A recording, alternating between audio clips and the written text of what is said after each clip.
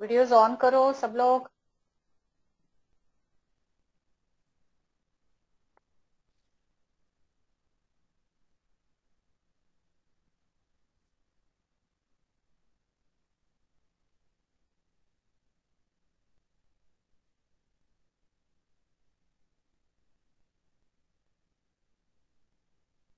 I will give you five minutes prepare yourself and सबके videos on होने चाहिए।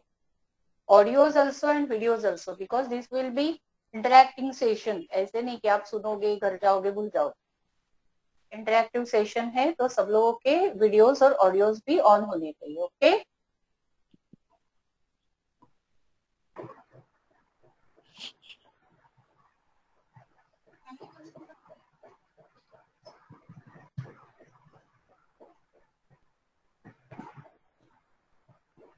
आज हमारा कौन सा टॉपिक है? साइकोलॉजी साइकोलॉजी वर्ड कैसे लगता है? बहुत ऐसे हेवी लगता है कि नहीं?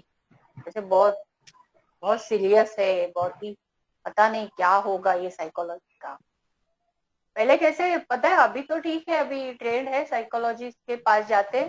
पहले पता है क्या था? एक बीस साल पहले जब भी शायद आपके जन्म भी नहीं हुआ होगा तो साइकियाट्रिस्ट के पास जाना मीन्स पागल ही हो गया ऐसा समझते थे लोग। साइकियाट्रिस्ट के पास गया मतलब इसकी ज़िंदगी खत्म हो गई, पागल ही हो गया। इसको दिमागी बीमारी है। तो ये पहले माइंडसेट था अभी धीरे धीरे वो चेंज हो रहा है। साइकोलॉजी को कैसे देखते लोग? जिससे हम अपनी लाइफ को इम्प्रूव कैसे कर सकते हैं। इस तरीके से उसको जो देखने का तरीका है, नज़रिया है, वो slowly slowly it is improving और साइकोलॉजी अभी कॉरपोरेट में कॉरपोरेट वर्ल्ड में भी मैनेजमेंट भी भी इंक्लूड किया है। Why because the mind that that itself directs the person's behaviour right ये पता समझ में आ गया कि साइकोलॉजी को कैसे देखना है हमें? बिल्कुल पॉजिटिव एटीट्यूड से देखना है और इससे जो भी लर्निंग है, इसे हमारी लाइफ में हमें क्या फ़ायदा होगा? इसको देखना है। क्लियर है? you can ask as many as questions in this session. The more questions, the more clarity will get. ठीक है?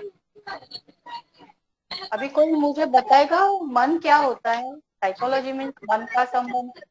Someone's audio is on the voice different voice is disturbing किसी का ऑडियो है और बहुत सारा अलग अलग लैंग्वेज में कुछ सुनाई दे रहा है। Just check your background voice okay तो मन क्या होता है? कोई बताएगा? मन किसने देखा है? फ़र्स्ट थिंग लोग बहुत मन के बारे में दिल के बारे में भी बोलते चलो दिल है आर्ट है लेकिन मन क्या होता है? मन की सुनो ये मन है क्या? Anyone know thinking ma'am thinking म्हणू शकतो आपण त्याला थिंकिंग आपण विचार करतो. हाँ. और मन का कोई है क्या? लिमिट है क्या? अभी आज हम इधर है। हाँ? अभी मेरी बात सुन रहे हो? कुछ दिमाग में आ गया. मन में आ गया गए अमेरिका में गए। हाँ? कुछ दिमाग में आ गया गए। Yes, कटरीना कटरीना कैफ के साथ में चाय पी ली बैठ के। पॉसिबल है कि नहीं? हाँ? तो ये मन क्या है? है और मन को कोई लिमिटलेस है इनफाइनाइट है। That is the infinite mind energy और हमारी इमेजिनेशन भी इनफाइनाइट है. Anyone of you know about Elon Musk पता है किसको? सुना है आपने एलॉन मस्क के बारे में? I am big fan. Of since many year तो उसकी इमेजिनेशन क्या थी कि मार्स पे जाके हमारे जैसे हम लोग रहते हैं ना वैसे मार्स पे मंगल ग्रह पे घर बनाए हाँ। हम्म। पहले उसका क्या था कि पेट्रोल या जो पोल्यूशन बढ़ रहा है उसके लिए उसे ऐसा सोल्यूशन चाहिए था परमानेंट और फॉर द होल ह्यूमनिटी तो उसने क्या किया? इलेक्ट्रिकल व्हीकल तैयार की। ये उसका बचपन से ऐसे सारे मिशन से आप उसकी आ, उसकी बुक पढ़ो बहुत सारी बुक्स है उस पे और उसमें ये सारा दिया है। तो ये क्यों हो गया? हमारे जैसे ही ऐसे जो लोग होते हैं जो भी बहुत ज़्यादा सक्सेसफुल होते लाइफ तो वो क्या करते हैं? हमारे जैसे हाथ पैर होते हैं, हमारे जैसा ही सब कुछ उनका होता है। फैमिली बैकग्राउंड भी सिंपल होता है। तो ये ऐसा एक्स्ट्रा ऑर्डिनरी कैसे हो जाते हैं? द पावर है, वो है उनका माइंड सेट होता है। उनकी मन की ताकत, मन की सोच, इच्छा शक्ति, उससे वो ये सब अचीव कर सकते हैं। तो now you people are young अभी आपके हाथ में सब कुछ है। ऐसा नहीं कि आप सत्तर साल के हो गए और बाद में फिर, अरे, ये करना रह गया, वो करना रह गया। ऐसा नहीं। Now everything in your hand तो आप अपनी मन की ताकत बढ़ा के आप कोई भी चीज़ ये लाइफ में अचीव कर सकते तो ये आपके हाथ में है कि आपको क्या चाहिए? लाइफ में सिर्फ़, चलो, एक दो चार बंगले बनाए दो चार गाड़ियाँ ली अच्छी सी सुंदर सी वाइफ या हस्बैंड है अच्छा सा करियर है, फिर मर गए। इतना अगर लिमिटेड अगर आपको लाइफ चाहिए तो it will be like that तो ये आपके कंट्रोल में फ़र्स्ट पॉइंट क्या है हमारा? तो आपका मन और आप क्या कर सकते हैं लाइफ में ये कंप्लीटली अंडर योर कंट्रोल दूसरा कोई ये डिसाइड नहीं करता। तो आप अपनी मन की ताकत है एटीट्यूड करेक्ट एटीट्यूड क्या रखते हैं? आपको कितने लिमिट में आप खुद को समझते हो? इस पे डिपेंड है कि आपकी सक्सेस कितनी होगी, आपकी हेल्थ कैसी होगी। आप क्या अचीव कर सकते हो और चीज़ें इज़ इट क्लियर समझ में आ रहा है? थोड़ा हेवी तो नहीं हो रहा ना is it I want to make it easier ठीक है? तो अभी आ, आप लोगों को सबको एक एक्सरसाइज है। ये थोड़ा सा सब लोग ज्वाइन भी हो रहे थे। इसको बोलते हैं चिन्ह मुद्रा। क्या बोलते हैं इसको? चिन्ह मुद्रा। तो सबने पहले हम क्या करेंगे? चिन्ह मुद्रा में आके बंद करके बैठेंगे। और प्रार्थना करेंगे। जो भी हमारे गुरु है, जो भी हमारे ईश्वर है, उनको, उनके लिए प्रार्थना करेंगे। बाय बिकॉज़ हम लोग अभी जो स्टार्ट कर साइकोलॉजी का, उससे आपकी लाइफ में अच्छा सा ट्रांसफॉर्मेशन आ जाए। वो एक डिवाइन एनर्जी का ब्लेसिंग मिले, गुरु कृपा रहे, ईश्वर का आशीर्वाद रहे, इसके लिए हमें वो शक्ति से जुड़ना है। ये है। दूसरा, हम जब भी बैठते हैं सेशन में तो बहुत सारा कुछ पहले हुआ होता है सुबह से।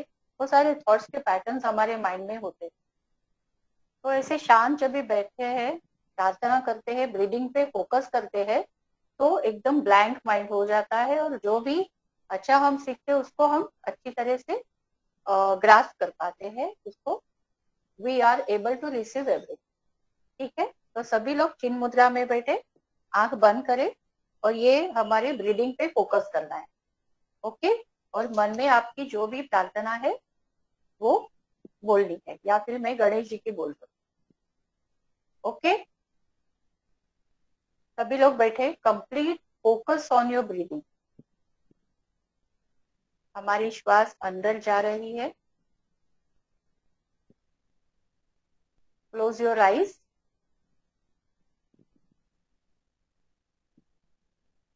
focus on your breathing हमारे श्वास की गति बिल्कुल धीमे हो रही है।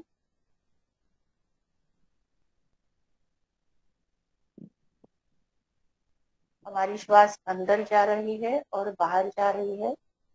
हम लोग आसानी से महसूस कर पाते हैं कि हमारी सांस का रिदम कैसा है। हम शैलो ब्रीदिंग नहीं कर रहे हैं।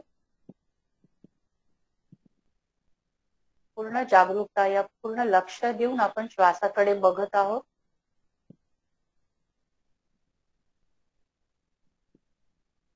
आता आपण ज्या ईश्वराला मानतो किंवा ज्यांना आपण गुरुस्थानी समझतो जिसको हम गुरुस्थान समझते हैं, जो ईश्वर पर हमारी श्रद्धा है, वो ईश्वर के प्रति मन ही मन में उनको प्रणाम करना है और उनकी प्रार्थना दो मिनट तक हमें hold it.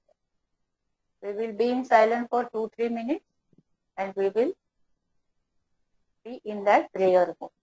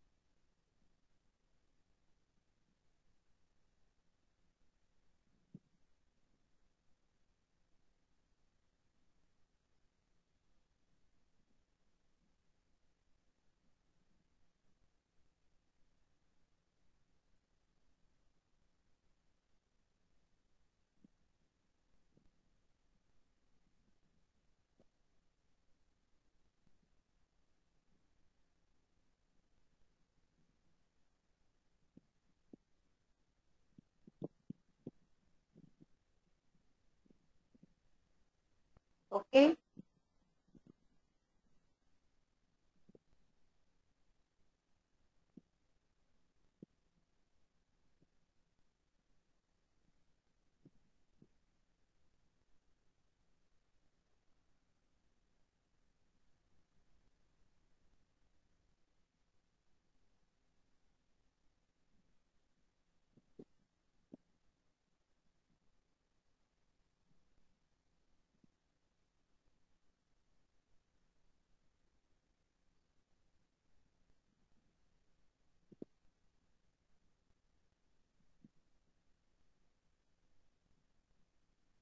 अभी एक सीक्रेट शेयर करती हूँ सभी लोग ध्यान से सुनिए।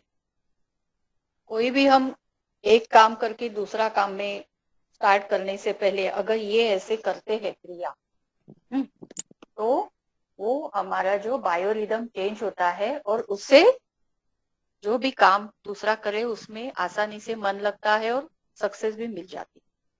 तो जो भी निगेटिव पैटर्न पहले का है कोई भी पैटर्न हो उससे हम रिदम चेंज होके नए इसमें आसानी से अलाइन हो जाते। ठीक है? अभी मैं, मेरे आध्यात्मिक गुरु है डॉक्टर प्रेम जी निर्मल और मैं महाअवतार बाबा जी है। उनकी शिष्य हूँ डिसाइपल हूँ और उनको ही फॉलो करती हूँ। उनको मैं अपने मन में प्रणाम करती हूँ। अभी हम ये जो टॉपिक समझने जा रहे इससे आप, आपको बहुत क्लैरिटी आ जाएगी। हमारे इंडिया में एक तो बच्चे का जन्म होता है तो पहले डॉक्टर क्या करते पता है? बच्चा जैसे ही माँ के पेट से बाहर आता है ना उसको पीटते हैं, मारते हैं। तभी वो रोता है। हाँ ऐसा नहीं खुशी खुशी बेचारे को हँसी खुशी लेके आया ऐसे नहीं होता, उसको मारते हैं। तो ये भी एक, इससे क्या होता है? फियर क्रिएट होता है। क्योंकि तो वो शौक होता है उसको। जो बच्चा जब भी बाहर आता है, उसको इमिजिएटली कोई मारता है। आप अगर आप नींद से उठे हो, और आपको कोई इमीडिएटली ऐसे पीटे तो कैसे लगेगा आपको? बहुत शॉकिंग होगा ना you are not in that state of mind तो ऐसे ही सारे बच्चों को जन्म के बाद में डॉक्टर्स लोग मारते हैं। ये सिस्टम हमारे इंडिया में वो गलत है, लेकिन इससे उनके सबकॉन्शियस माइंड में फियर फैक्टर चला जाता है। और हम लोग जैसे जैसे हम लोग बड़े होते हैं तो हमें फिर ये फियर का अंदाज़ा होता है। हमारे मन में नहीं तो डर कभी नहीं रहता है। फिर आगे जाके ये फियर को टैकल करना कॉन्फिडेंस कम होना, ये सारी समस्याएँ आती रहती इसको कैसे टैकल करें, करने का है, इसको कैसे समझना है और इसको लाइफ में इफ़ेक्ट नहीं होने देना है, ये हमें अभी सीख।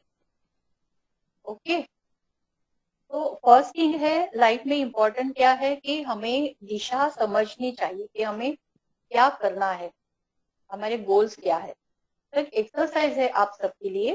सबके पास पेपर पेन या नोटबुक है। You carry all of you तो आप सभी लोग पाँच मिनट बोलो यस एनी क्वेश्चन तो सभी लोग एक दस मिनट मैं देती हूँ आपको। और सब लोगों ने एक एक्सरसाइज करना है कि अभी है, आज की डेट है seven July two zero two one तो पाँच साल के बाद में मतलब twenty two twenty three twenty four twenty five twenty six two thousand twenty six में आप अपने आप को कैसे देखते हो? What are your goals how you want to be after five ये आपको एक पाँच लाइन में लिखना है सबको। अपने अपने नोटबुक ठीक है?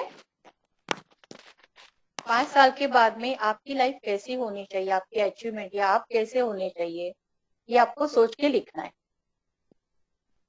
How you want to become how you want to be after five years from now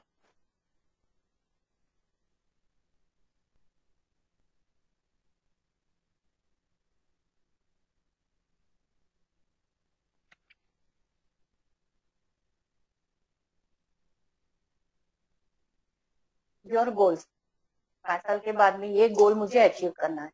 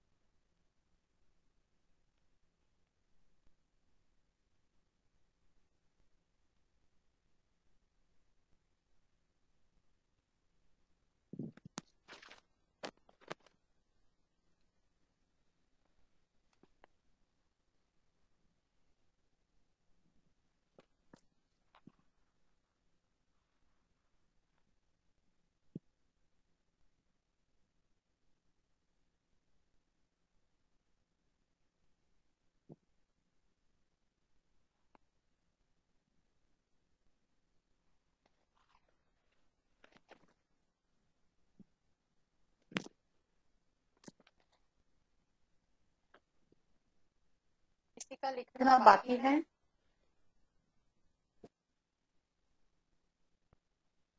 बाकी है तो मुझे ऑन ऑडियो ऑन करके बता दो। All done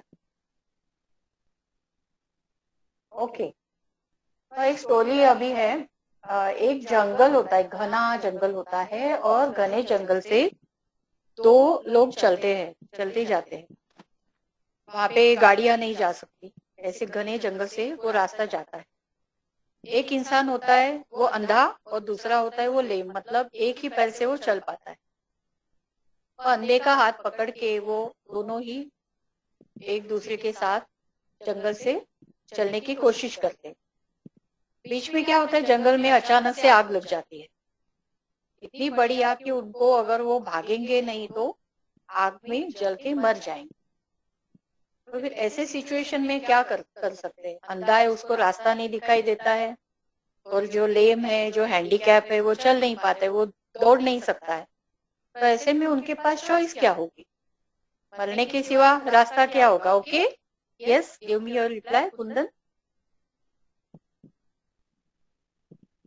Audio audio on audio on नहीं है।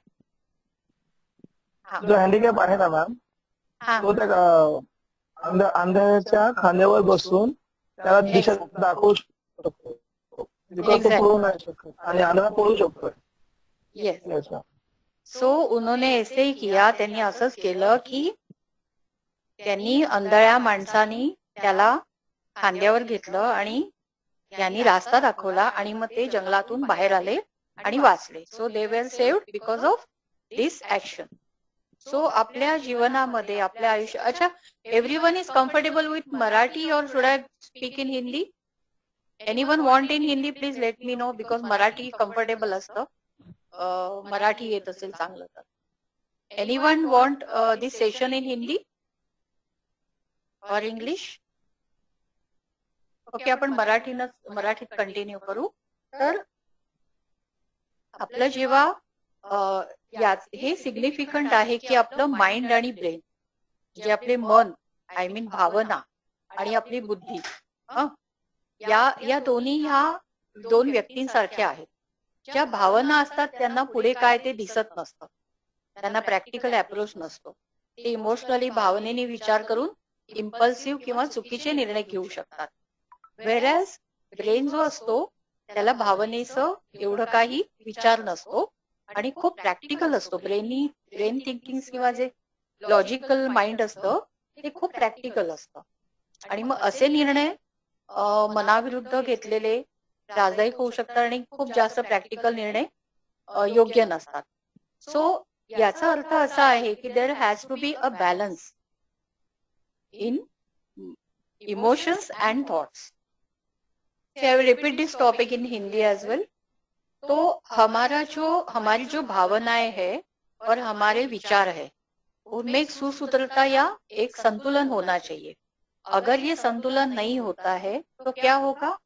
जहाँ पे भावन, भावना से सोचने की या भावना से निर्णय लेने की ज़रूरत नहीं है, वहाँ से भावना से निर्णय लिए जाते हैं और वो परेशानी जीवन में और परेशानियाँ क्रिएट करती है, निर्माण करती है। और जहाँ पे हमें भावनाओं को महत्व ना देके बहुत ही प्रैक्टिकल तरीके से सोचना है, बहुत ही जो वो परिस्थिति के लिए सही है और आवश्यक है।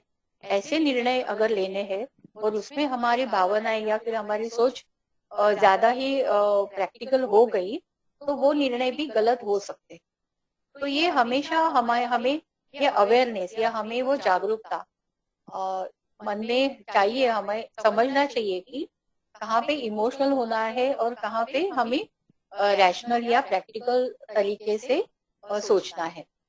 तो ये संतुलन बहुत ज़रूरी होता है। अगर ये संतुलन नहीं होता है, कोई पर्सन अगर बहुत ही ज़्यादा भावुक है और कोई पर्सन है वो बहुत ही ज़्यादा प्रैक्टिकल या बहुत ही मटेरियलिस्टिक सोच रखने वाला है तो उनकी लाइफ में वो बैलेंस नहीं रहता है और उनके बाकी डायमेंशन में इश्यूज़ आते हैं। और इमोशनल पर्सन है तो सबसे प्यार करेगा, सब लोग उससे प्यार करेंगे। लेकिन जो वेल्थ क्रिएशन है या एक कंफर्टेबल लाइफ चाहिए उसको, वो जीवन में अचीव करना उसको पॉसिबल नहीं होता है। या फिर बहुत ही मटेरियलिस्टिक है पर्सन प्रैक्टिकल है तो वो क्या करेगा, पैसे के पीछे भागेगा। बहुत सारे अचीवमेंट उसके पास होगी करियर भी अच्छा होगा। लेकिन लव फैक्टर है या कंपैशन है, जिसको बोलते हैं इमोशनल पार्ट है, उसमें वो बिल्कुल गरीब होगा। यू नो तो ये समृद्धि हर एक इसमें होनी चाहिए। ये सब इमोशंस है, चाहे रिलेशन है, चाहे वो करियर है प्रैक्टिकल है, एक उसमें अगर संतुलन है तो ही सक्सेस आसानी से मिलती है। तो ये समृद्धि का मार्ग ही साइकोलॉजी से हम आगे सीखेंगे हाउ टू अचीव कोई क्वेश्चन है आपको? अभी जो एक्सप्लेन किया उसके बारे में? Anyone has query? Okay now important factor uh, that is one more obstacle uh, in the life अभी के इसमें हो रहा है कि कंडीशनिंग होता है। ते पुन्हा एकदा रिपीट करा काय कुठला फॅक्टर ते लास्ट सांगत होतं हाँ जीवन में हमेशा भावना और वैचारिक दोनों में एक संतुलन होना चाहिए। जहाँ पे विचार करके निर्णय लेना है। समझो घर में कोई चोरी करने आ गया, चोर। हाँ अभी वो सपोज़ बहुत गरीब है और हम हम बहुत ही इमोशनल है, बहुत ज़्यादा सात्विक है तो ऐसा इंसान क्या करेगा? हाँ अरे भाई, तू कितना गरीब है, मुझे तो तुझ पे दया आ रही है। मैं अच्छा कर्म करूँगा, ये ले और मेरे पास है, वो भी लेके जा। इज़ इट पॉसिबल इसको क्या बोलते इमोशनल फूल बोलते हैं। तो ये ज़रूरी नहीं है। इसको तो यहाँ पे इमोशंस की है यहाँ पे प्रैक्टिकल होने की ज़रूरत है। ठीक है। और अगर सपोज़ अगर बच्चा है सपोज़ और उसको कुछ आइसक्रीम चाहिए वो बोल रहा है या चॉकलेट चाहिए दो मिनट का काम है कुछ से चाहिए या उसकी मदर है और वो कुछ काम करी और बच्चा छोटा सा कुछ बोलने के लिए आ गया। तो फिर माँ क्या बोलती अरे तू अभी बात मत कर अभी मुझे तंग मत कर तू यहाँ से दूर भाग जा मुझे काम है। तो ये क्या हो गया? ऐसी मदर है शी इज़ मोर प्रैक्टिकल। वो अपने बच्चे की भावना के बारे में नहीं सोचती है। ठीक है? तो ये दोनों सिचुएशन है।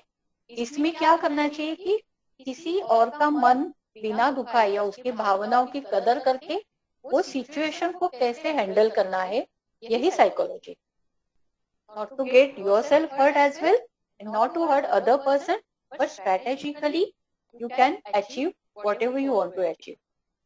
okay इसको बोलते हैं मैनेजमेंट में विन विन विन सबका ही भला। क्लियर है ये पॉइंट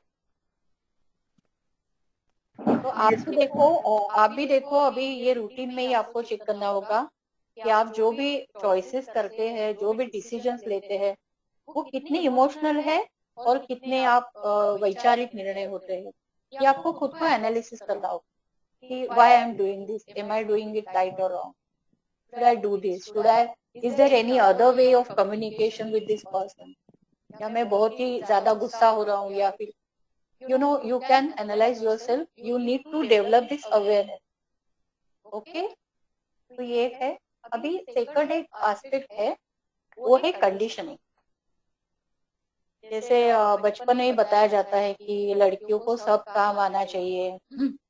लड़कियों ने ऐसा नहीं करना चाहिए। लड़कियों की शादी करियर चाहे कुछ भी हो मेरे पास काउंसलिंग के लिए केसेस आते हैं। लड़की करियर अच्छा होता है उसको अपॉर्चुनिटी होती है लेकिन पेरेंट्स होते कि उनकी शादी जल्दी करवा दो और भगा दो सकते ठीक है? तो ये कैसे इसको बोलते हैं कंडीशन कि लड़का कितना भी करियर कर सकता है उसको खाना बनाना आने की ज़रूरत नहीं है उसमें अपना खुद खुद का काम करने की ज़रूरत नहीं है हा? ये बहुत ऐसा कंडीशनिंग होता है। इससे क्या हो रहा है अभी? अभी के एरा में क्या हो रहा है? कि बच्चों को किसी भी शहर में अकेले रहना पड़ता है।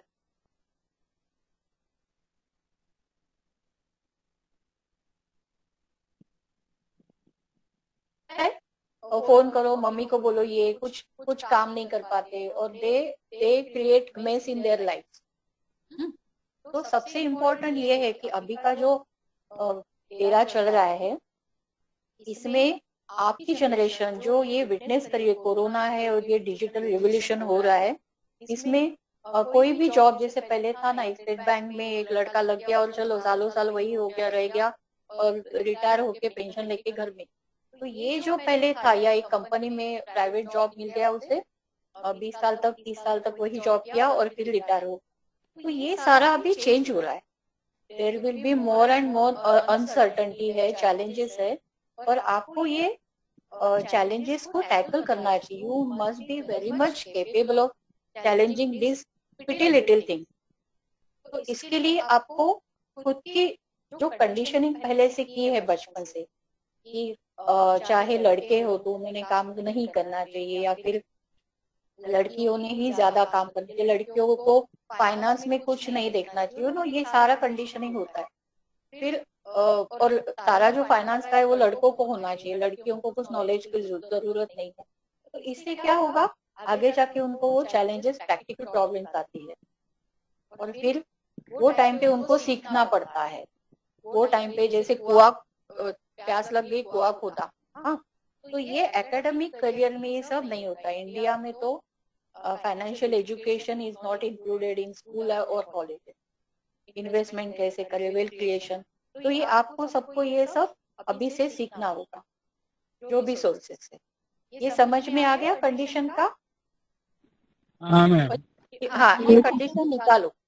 हाँ अभी एकादशी का उपवास घर में रखते हैं सब कंपल्सरी किया जाता है वो बाद में जाता है जर्मनी में उसे साबुदाना नहीं मिलता है बटाटा नहीं मिलता है। क्या करेगा वो लड़का? ठीक है? तो वो कंडीशनिंग जो है ना वो as per situation you need to be flexible तो अभी घर में है इंडिया में है माँ बाप का पेरेंट्स का मन रखो जो भी बोलते हैं करो लेकिन कहीं और जाते हैं तो वो सिचुएशन के हिसाब से आपको खुद को बदलना आना चाहिए। वहाँ पे फियर नहीं होना चाहिए कि अरे विष्णु भगवान फिर क्या करेंगे? मैं अगर उपवास नहीं करूँगा ठीक है? तो भगवान कोई ऐसा नहीं करते हैं ये ये सब हमारे जो उपवास वगैरह है। हमारे हेल्थ के लिए डाइट के लिए अच्छा होता है इसलिए हमारी रिलीजन में इसको इंक्लूड किया है। एनी काइंड ऑफ़ रिलीजन ठीक है ये समझ में आ रहा है कंडीशनिंग का? ओके. तो और एक कंडीशनिंग होती है related to dos and don'ts तो इसको आप uh, क्या प्रैक्टिकली ये कहीं और हम जाते हैं तो ये प्रैक्टिकली पॉसिबल है क्या? ये आप सोचो। हाँ।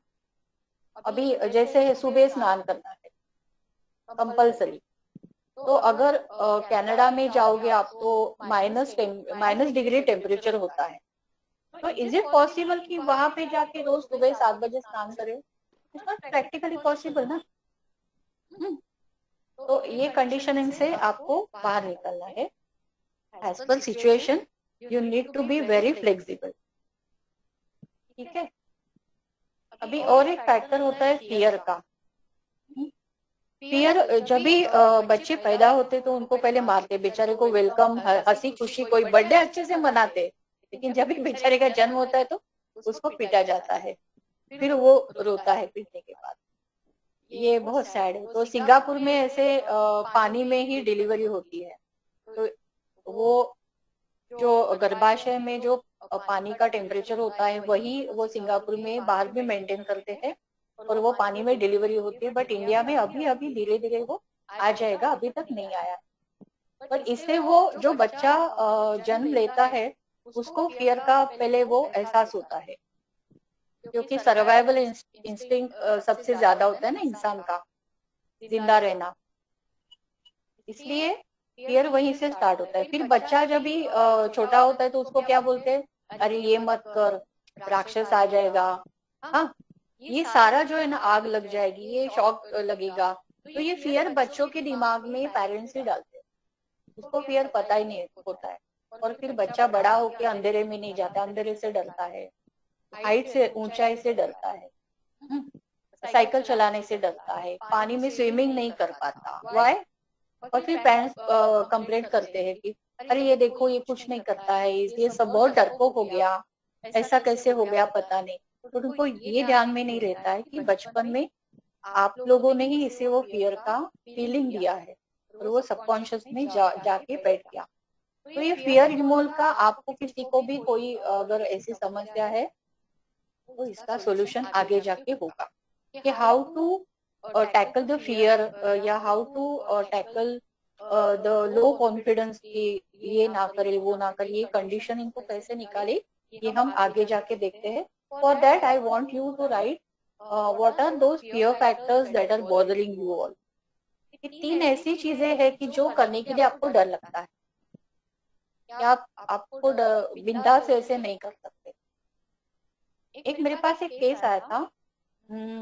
पेरेंट्स बहुत ही स्ट्रिक्ट पिताजी बहुत ही स्ट्रिक्ट उनके साथ में कोई भी घर में बात नहीं कर पाता। उनके सामने वो बोलते थे ज़ुबान चला रहा है। तेरी मुझसे बात करने की हिम्मत कैसे हो गई? तो ना इस तरीके से लैंग्वेज उसने बचपन से सीखी है। और हैपन यू नो उसका करियर बिल्कुल ब्राइट हो गया बच्चे का। Very brilliant genius achiever academics के बाद में उसे कॉर्पोरेट में हायर पोस्ट में जॉब अच्छी मिल गई। बट वो सबकॉन्शियस माइंड में एक फियर था कि फ्रीली किसी से बात नहीं कर, कर सकता है वो। इज़ फेसिंग दैट प्रॉब्लम कि मुझे डर लगता है। मेरे सीनियर्स से बात करने के लिए डर लगता है। मैं ऐसे पब्लिक फोरम मीटिंग्स में बात नहीं कर पाता। उसकी वाइफ है, उसके सामने कोई अपनी मन की बात बताने के लिए भी वो डरता है। Can you imagine what is the reason behind this conditioning parents ने उसे वो फ्रीडम ही नहीं दी कि वो खुल के बात कर सके। उसे रोका गया, उसे बहुत स्ट्रिक्ट तरीके से ओवर डिसिप्लिन इससे उसे अपब्रिंगिंग हो गई, ये माहौल। तो ये माइंडसेट ऐसे डेवलप होता है। तो you people if you have any such challenges note it down we will create solution for this understood तो आपके घर में कोई किसी के घर में अगर बच्चे हैं तो उनके साथ में बिहेवियर किसी का अगर आपको नज़र आता है तो उनको बताइए कि इससे ऐसा ऐसा आगे हो सकता है। Let them talk freely let them communicate with is बहुत। सहजता से किसी का भी कम्युनिकेशन के लिए आप प्रमोट करो या उसे इंस्पायर करो। कोई बात करता है तो उसे रोको। ये पॉइंट समझ में आ गया? ओके अभी हाँ मैम यस इसमें कुछ कंफ्यूजन नहीं है ना समझने में? I am telling you this because you will be parents one day okay तो आप ऐसा अपना जो है क्या बोलते हैं उसको? अपनी ताकत अपने बच्चों पे मत दिखाना। वर्बली नहीं फिजिकली नहीं बॉडी लैंग्वेज से नहीं आँखों से नहीं। बच्चे डर जाते हैं। Don't create fear factor in the minds of children ठीक है? अभी नेक्स्ट एक होता है वो है हैबिट पैटर्न ये हैबिट पैटर्न तो अभी बहुत सारा बिग हर्डल है हर एक लाइफ का। बिकॉज़ इससे ही वो सक्सेस है या अचीवमेंट्स है वो हैम्पर हो जाते हैं। तो हैबिट पैटर्न कैसे डेवलप होते हैं वो भी बचपन से कुछ आदतें लग जाती है जिसको रोका नहीं जाता या जिसको चेंज नहीं कर सकते। फॉर एग्ज़ाम्पल रात को जाके टीवी देखना या मोबाइल पे टाइम पास करना इससे क्या होगा? हेल्थ इफ़ेक्ट होगी। बहुत सारे ऐसे आदतें होती है। स्मोकिंग वगैरह तो ठीक है वो तो वो तो बहुत ही बुरा है लेकिन there are n number of habits which can lead to failure in your life क्योंकि आगे जाके उसका माइंड पे भी इफ़ेक्ट परिणाम होता है और हेल्थ पे भी होता है। तो ऐसे आपके कौन से हैबिट्स है जिसको आपको कम करना है? You you want to leave those habits but वो आपसे नहीं हो रहा है। कोई भी पैटर्न है ऐसा भाई ऐसा है ना शांत नहीं बैठ सकता। उसको पैर हिलाने की पैर हिलाने की आदत होती है। बहुत फनी लोगों की आदतें होती है। यस कुंदन मोबाइल चलाना कम करना है। हाँ तो इसको कैसे वो भी हम देखते हैं क्योंकि वो आपका आपकी लाइफ मतलब आपका टाइम है। तो जितना आप टाइम इन्वेस्ट करोगे money is not the wealth time is the wealth the more you invest your time in right things it will create a good life for you so always time is important तो ये mobile को अगर mobile की आदत है या फिर WhatsApp की आदत है डिजिटल ज़्यादा सोशल मीडिया की आदत है इसको कैसे टैकल करना है वो हम आगे देते हैं। ठीक है? But all of you need to write three habits जिसको आपको छोड़ना है। इसका सोल्यूशन मैं देती हूँ। हमारा ये सेशन है ना लेक्चर से ज़्यादा इंटरेक्टिव हमारा एक्शन प्लान होता है। बहुत सारे आपको एक्टिविटीज़ दे ओके और एक होता है वो बिलीफ सिस्टम है। व्हाट इज़ बिलीफ सिस्टम अच्छा रिलीजन और स्पिरिचुअलिटी में क्या फ़र्क है? अध्यात्म और धर्म में क्या फ़र्क है? Anyone can reply.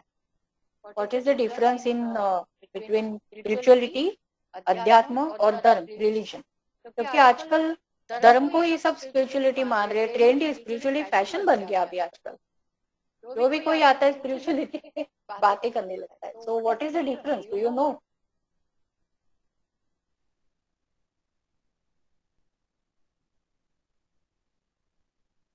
सोचो सोचो।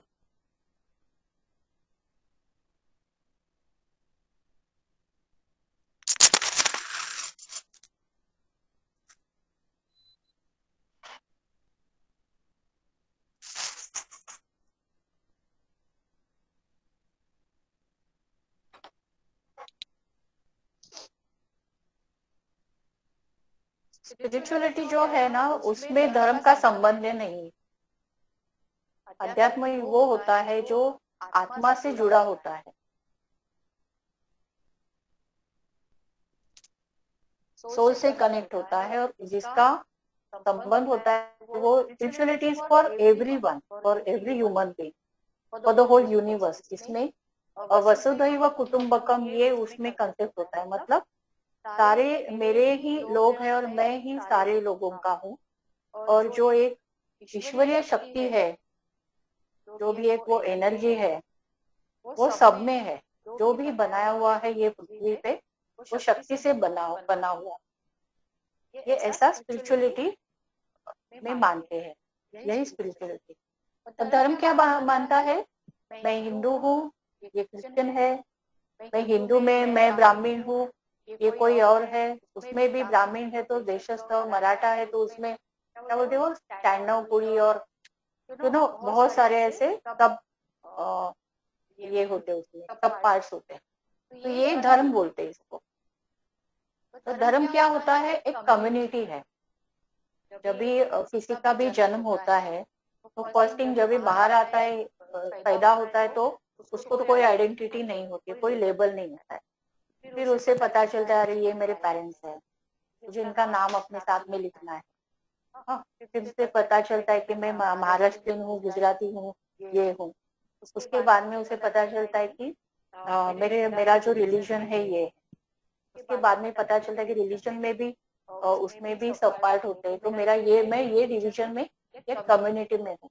तो what is the religion that is the community you are living in आपकी लाइफ है आपके लाइफ के लाइफ में रहने वाले लोग हैं। वो कम्युनिटी से जुड़े हुए हैं।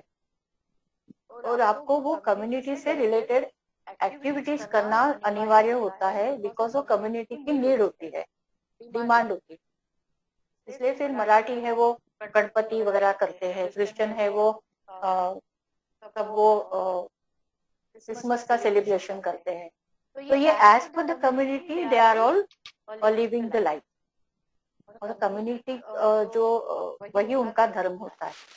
और स्पिरिचुअलिटी में स्पिरिचुअलिटी डजेंट बिलीव इन वो धर्म, ये कास्ट किसी में विश्वास नहीं करते। दे सी गॉड इन एवरीवन जो भी है, सब में ईश्वर है और सभी ईश्वर का अंश है, ये मानते हैं। तो ये क्लियर हो गया what is the difference in spirituality and religion any question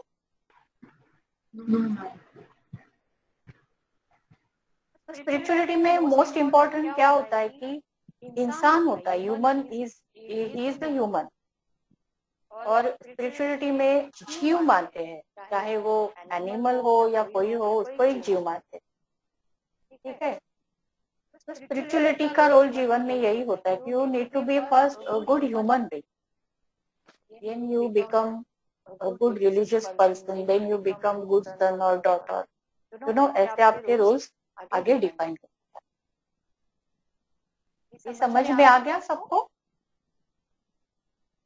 yes ma'am yes अच्छा दो इम्पोर्टेंट पॉइंट फ़र्स्ट कि हमारे जो भगवत गीता है वो पता है कहाँ पे श्री कृष्ण ने बताई थी अर्जुन को?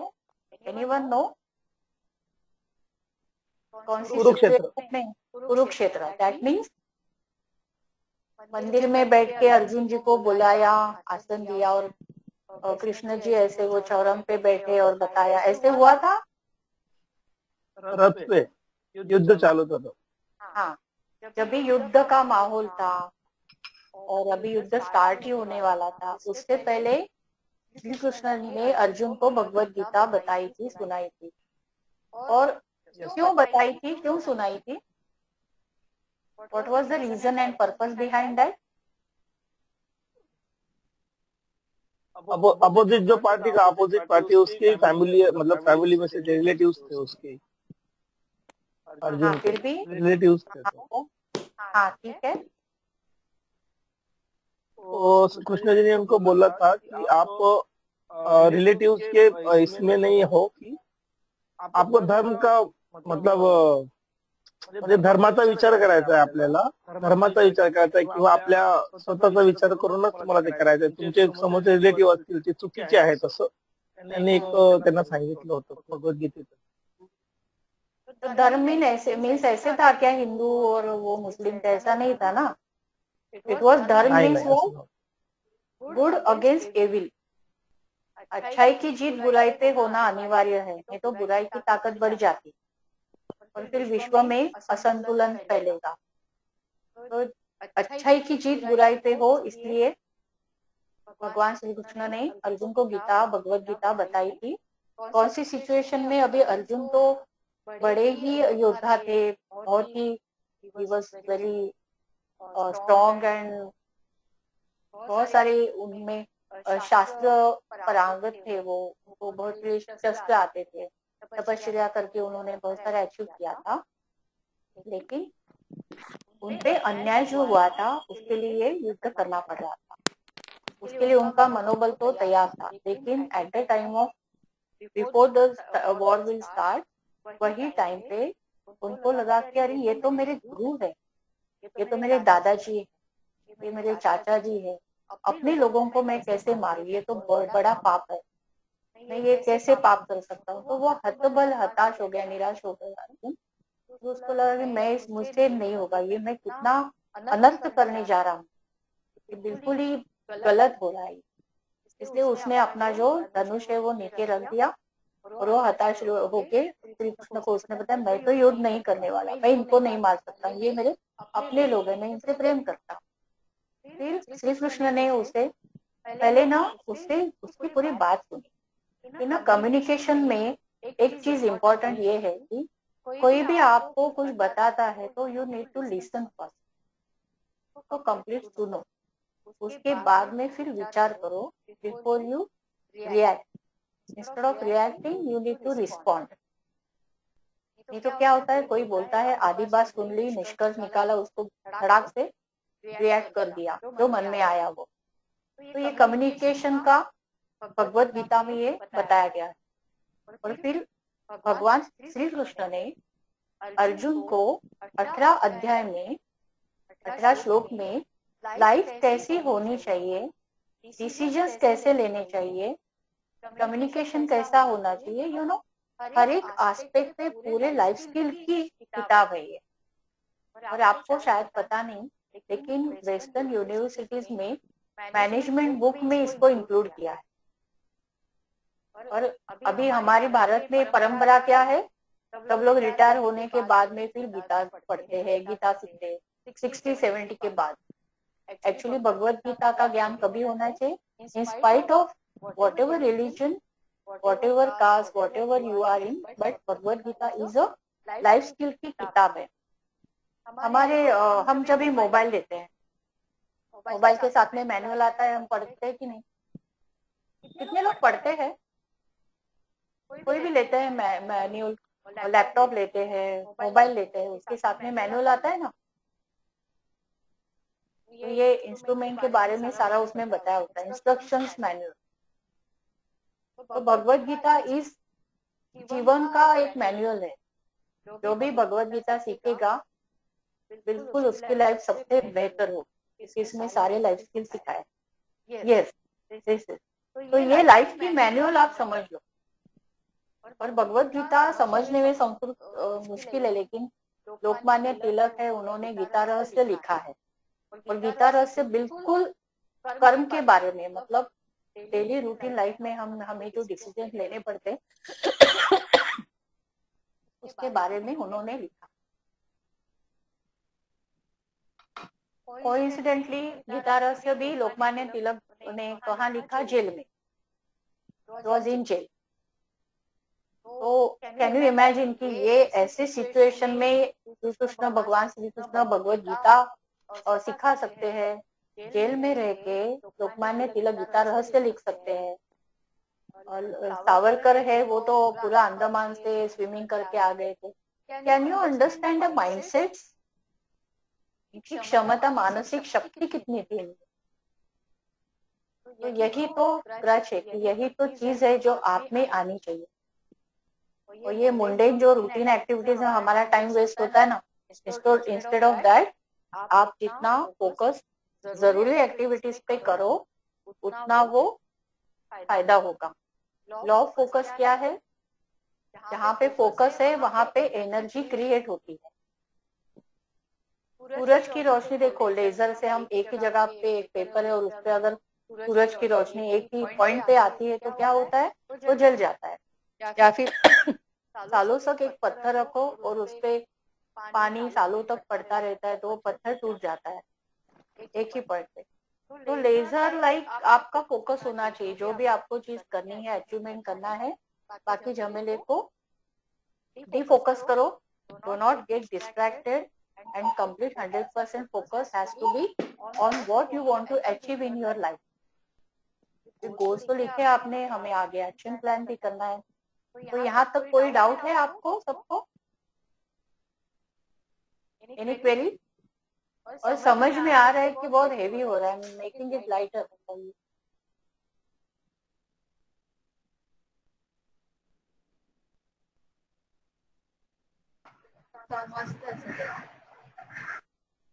तो आप लोग अभी आ, आपके लिए होमवर्क ये है। कि फ़र्स्ट है आपने गोल तो लिखे हैं।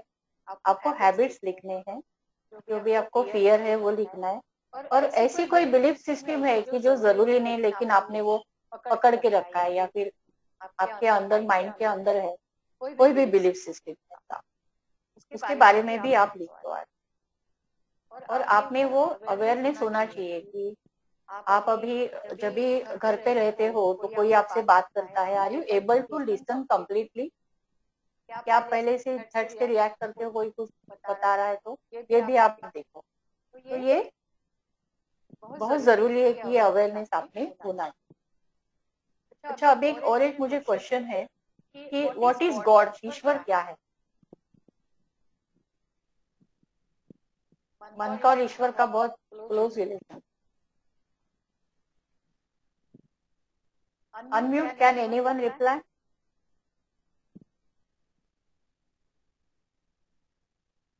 पता कैसे चलेगा कि गॉड है कि नहीं? हाउ टू नो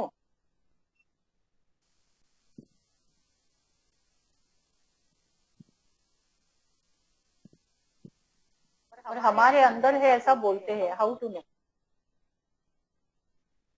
सबके अंदर आहे मॅम पंचतत्व असतात पंचतत्व असतात आपण गॉड म्हणू शकतो ना. हवा आहे पाणी आहे. नाही ते पंचतत्व नाही तो एक भाग है सगळ्यात मोठा प्रूफ माहिती का सबसे बड़ा प्रूफ क्या है पता है? जब हम चलते फिरते रहते खाना खाते हैं हाँ डाइजेस्ट होता है पानी पीते डाइजेस्ट होता है सारी शरीर की क्रियाएँ चलती रहती फ़र्स्ट थिंग हमें पता नहीं होता लेकिन हमारे बाल बढ़ते रहते हैं नाखून बढ़ते रहते हैं हाँ अनोइंगली होता रहती है ये क्रियाएँ घटती रहती लेकिन जब भी हमें पता है कि हमें एक पर्टिकुलर नंबर ऑफ़ ब्रेथ दिए, श्वास सबको दिए है ना, वो गिन के उतने ही श्वास सबको दिए है इतने आपको दिया है, इतने इतने लाइफ है, इतने श्वास है, इसमें जो भी करना है आप करो इट्स योर चॉइस तो अगर ये श्वास का किसी का भी खत्म हो जाता है किसी भी लाइफ खत्म हो जाती है लोग उसे क्या बोलते हैं? बॉडी बोलते हैं। बॉडी को इधर रखो, अरे बॉडी को लेके नहीं आए बॉडी को हॉस्पिटल से लेके आओ। उसका नाम भी कोई नहीं लेता है। This is the bitter truth of life घर वाले भी नाम नहीं लेते बॉडी बोलते और जैसे इंसान वो मर जाता है उसको खाना नहीं खिला सकते डाइजेस्ट नहीं हो सकता पानी नहीं मिला सकते। और वो बहुत फास्ट उसको डिटेलेट हो जाती है वो पानी भर जाता है वो खराब होने लगती है सड़ने लगती है वो शरीर सड़ता है। तो ऐसी कौन सी शक्ति है जो ये हमारे अंदर सारी क्रियाएँ कर ये सिस्टम कौन चला रहा है? हम धीरे धीरे बड़े होते हैं बोलना आ जाता है। ये सब कौन करता है? वो चेतना शक्ति बोलते हैं। यही लाइफ फोर्स मीन्स गॉड है। तो ये ईश्वर से कैसे जुड़ना है जितना अपने आप के अपने मन को आप जितना शांत रखो जितना सहज रखो और, और जो ज़रूरी नहीं लाइफ में, वो झमेले में ज़्यादा अटको ही मत। तो फिर ये आपको एहसास होगा और स्टार्ट मेडिटेटिंग मेडिटेशन मीन्स ऐसे साधु जैसे बैठना नहीं होता है। You just sit in the silence for some time, focus on your breathing और अपने विचारों पे ध्यान देना कि मैं क्या कर रहा हूँ। पे ध्यान देना, बस दैट इज़ सफिशिएंट इनिशियली बाद में ये बढ़ा सकते हैं। Okay any question no ma'am अच्छा कैसे लगा आपको? सेशन बहुत हेवी तो नहीं हुआ ना? समझने में? नो नो फ़ायदा हो रहा है कुछ सीखने का कि नहीं वो इम्पोर्टेंट है। नहीं तो नहीं तो? घर जाके घर घर पे ही हो सब लोग नहीं तो सो जाओगे। चलो साइकोलॉजी लेक्चर बहुत बोरिंग था अभी सो गए। ऐसा नहीं होगा ना ठीक है no any commitment from your side goal setting goals लिखने हैं हैबिट्स लिखने हैं जो भी आदतें छोड़नी है ईमानदारी से लिखना है क्योंकि इससे आपको ही फ़ायदा होगा जो भी आपके मन में पियर्स है पानी का डर ऊंचाई का डर किसी से बात करने का लड़कियों से बात करने का भी डर होता है वो भी केसेस आते हैं मैडम मुझे ये अच्छी लगती है उसको भी मैं अच्छा लगता हूँ लेकिन पता नहीं उससे बात कर हाँ अभी लड़की से बात नहीं करेगा आगे जाके मीटिंग्स में बात नहीं करेगा यू नो ऐसे भी फेयर फैक्टर है कंडीशनिंग है। तो ये आप लिखो सब। इसका सॉल्यूशन कैसे करते हैं निकालते हैं वो आगे के सेशन में देखो। ओके? तो next topic will be more interactive जिसमें हमें सारा ये सॉल्यूशंस पे फोकस करना है। एक्शन प्लान ठीक है? एनी क्वेश्चन चलो start reading Bhagavad Gita from today थोड़ा थोड़ा पढ़ो कोई भी लैंग्वेज में कोई भी ट्रांसलेशन पढ़ो चलेगा? और पढ़ने का कैसे है? कुछ कुछ कुछ श्लोक या कुछ कुछ अर्थ ऐसे है कि जिसमें आपको लाइफ स्किल मिल जाएगी। कम्युनिकेशन है मैनेजमेंट है ये सब उसमें है। ठीक है? तो see you in the next session ma'am ma'am question हा विचार। ज्यांना ज्यांना प्रश्न आहेत विचारा. आपण म्हणजे लॉर्डचं जेव्हा आपण म्हणजे परीक्षण करतो तेव्हा तुम्ही बोलले होतात की दोन बाय दोनचा म्हणजे आपण खड्डा म्हणतो त्याच्यात पाणी टाकतो. आणि मग जसं जसं म्हणजे पाण्याची लेवल असते त्या हिशोबाने आपण म्हणजे ते जागा कशी आपल्याला ते माहीत पडतं. हो. तर आता आपण म्हणजे काही काही भाग असे आहेत म्हणजे राजस्थान किंवा जिथे पाण्याची म्हणजे जमिनीत पाणी नाहीच आहे. तिथे खूप हिट आहे जमिनीमध्ये. तर मग त्यावेळेस कसं आपण म्हणजे अज्युम करणार की जमीन चांगली आहे की नाही? वेगळ्या सिस्टीम त्याच्यात वेगळ्या सिस्टीम आहे. राजस्थान वगैरे मध्ये तिकडे पाणी पाणी ओतायचंय त्या खड्ड्यामध्ये. आपल्याला काही तिथलं पाणी नाही बघायचंय तिकडे क्वालिटी ऑफ सॉइल टेस्ट ते पाच सांगितले ना चव बघायची वास बघायचा रंग बघायचा ते बघायचं. आणि स्लोप कुठे आहे तो बघायचा त्या जमिनीचा. आणि पाचवी गोष्ट म्हणजे अं, तिकडे खड्डा खणून त्याच्यात पाणी भरायचं. त्याच्यावर एखादं पान टाकायचं आणि ते पान जर क्लॉकवाईज फिरत असेल तर that is good anti clockwise किंवा स्थिर असेल तर ते नाही. तर तिथे एनर्जी सर्क्युलेशन करतो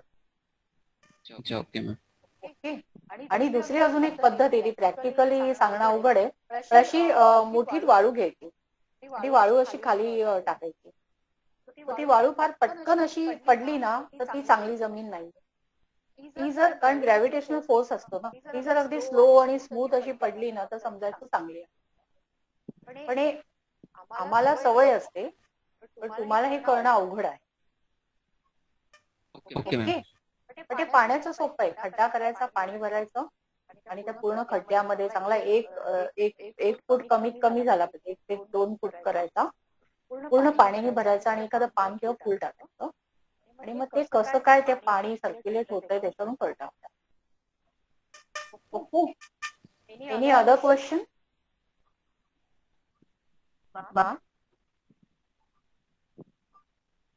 धार्मिक पुस्तकं जर वाचायची असतील धार्मिक बुक भगवद्गीता गरुड पुराण वगैरे याचे काही कंडिशन असतात का?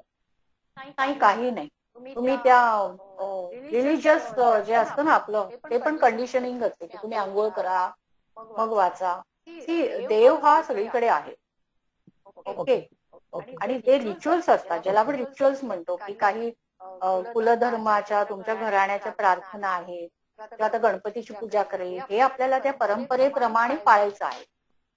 पण जेव्हा तुम्हाला एखादा ग्रंथ तुमच्या आयुष्याच्या चांगल्यासाठी वाचायचा आहे त्याला काही नियम नाही. मला तो समजला पाहिजे मग तो दासबोध सुद्धा ऑक्सफर्ड युनिव्हर्सिटी मला विचारायचं असं होतं हा.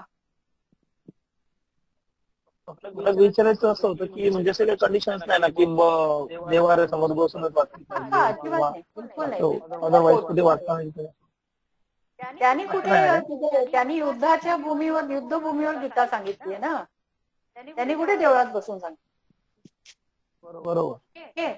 त्यांनी कुठे सांगतात मोस्ट ऑफ देवाऱ्या समोर बसून. त्यांनी सांगितलं का अर्जुना हे नाही हा इथे युद्धभूमी आहे इथे गीता नसते सांगायची? तू चप्पल काढ हा रस सोड. आपण तिथे देवळात जाऊया. हा मी मुहूर्त. बघ. आणि मग तुला गीता सांगतो. इट नेव्हर हॅपन ना. हा. चांगल्या चांगल्या कुठल्याही कामाला जागा बघायची नाही मुहूर्त बघायचं नाही. ओनली वन थिंग एक रूल आहे की purity of intention is very important तुमचं हेतू शुद्ध असावा. तुम्ही काही करताय ना त्यातलं तुमचा हेतू शुद्ध असला ना मग त्याला फार काही विचार नाही करायचा. See live life very easily सहज भाव में जीवन जीने की कला ज़रूरी है। जितना हम ये झमेले में उलझेंगे ना उतना हमारा जो थॉट है हमारी शक्ति है अनप्रोडक्टिव हो जाती तो हमारी, जो है एनर्जी वो प्रोडक्टिव या क्रिएटिव चीज़ों में डालो आप। ये झमेले में मत कहीं भी बैठो, पढ़ो अच्छा लगता है आपको, पढ़ो। और don't feel never feel guilty okay never feel guilty for anything ठीक आहे दासबोध पण वाचा। दासबोध पण छान आहे। ऑक्सफर्डच्या युनिव्हर्सिटीमध्ये मॅनेजमेंटचा ग्रंथ म्हणून आणि त्याच्यामध्ये इतकं सुंदर त्याच्यातली मूर्खाची आम्ही लक्षणं मूर्खाची लक्षणं वाचा. दासबोध तुम्ही एन्जॉय कराल. तुमची करमणूक होईल. मूर्खाची लक्षण म्हणून एक भाग है दासबोध हिंदी में भी है. मूर्खों के लक्षण. करके एक उसमें भाग आता है. वो पढ़ो। बाकी सब कुछ पढ़ो लेकिन वो पहले पढ़ो.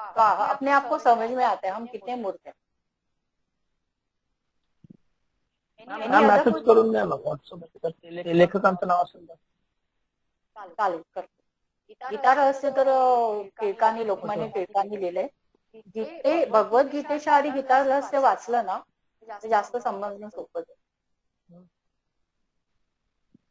ठीक है तो बाद में मिलते हैं क्वेश्चंस कोई है और?